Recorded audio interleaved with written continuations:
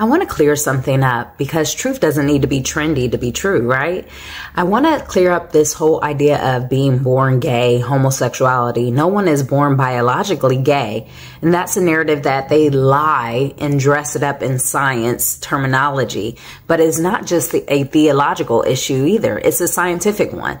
Both the Bible and biology agrees. Sexual behavior is shaped by influences and not immutable design.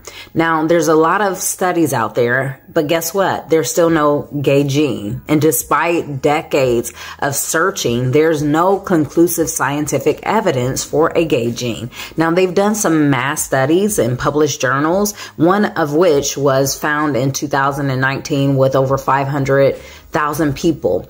And Still yet, there's no gay gene. Genetics account for almost 25 to 35% of variation in sexual behavior, with the rest most likely due to environmental, cultural, and individual specific factors.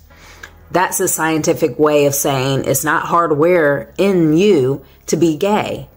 See, a large scale study reveals insights into genetic architecture of the same sex behavior in the article that I mentioned here below.